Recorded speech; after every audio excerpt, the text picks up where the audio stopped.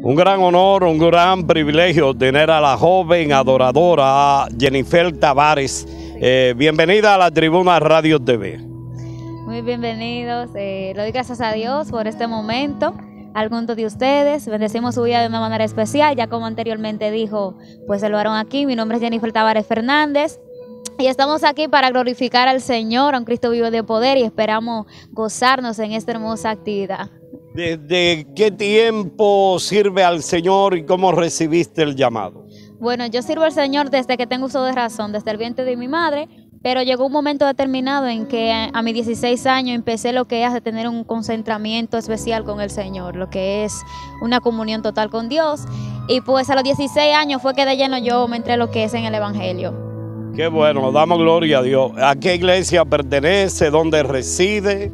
Bueno, yo vivo en Sabana Rey Latina, es un sitio que pertenece a La Vega, por el ranchito, y pues me congrego en la iglesia de Dios en Cristo la Senda, allá en Sabana Rey.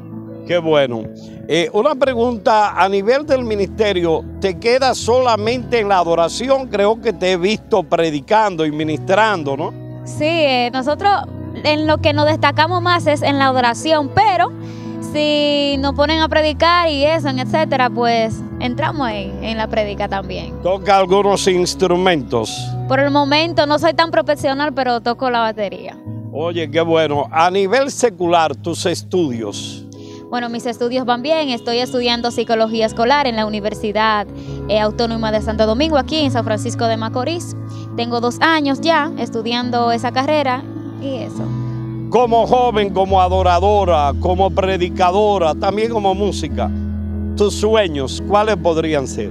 Bueno, mis sueños es alcanzar lo que es la corona de la vida en primer lugar y que fuera parte de que seamos jóvenes y pues tengamos una corta edad, nosotros debemos entender de que Dios es nuestro, eh, nuestro pronto auxilio y además de eso, hay momentos de flaqueza que vienen a nuestras vidas y hay momentos determinados en que queremos rendirnos, pero que eso no sea un impedimento para nosotros lograr nuestro sueño. En primer lugar, quiero que mi familia pues acepte por completo a Jesús y que le vean la cara a Él y que tenga un encuentro sobrenatural. Pero sobre todo, mi anhelo es cada día verle la cara al Señor y alcanzar la corona de la vida. En el campo sentimental, ¿cuál sería el joven ideal? ¿Está buena o fuerte la pregunta? No, está bien.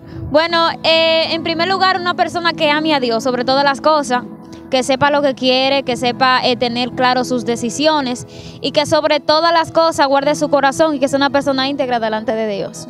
Jennifer, me gustaría, aunque ya estamos de frente a una actividad donde lo estará adorando, eh, me gustaría que le diese un poquito a algún tema de eso que te gusta, por lo menos un poquito a capela.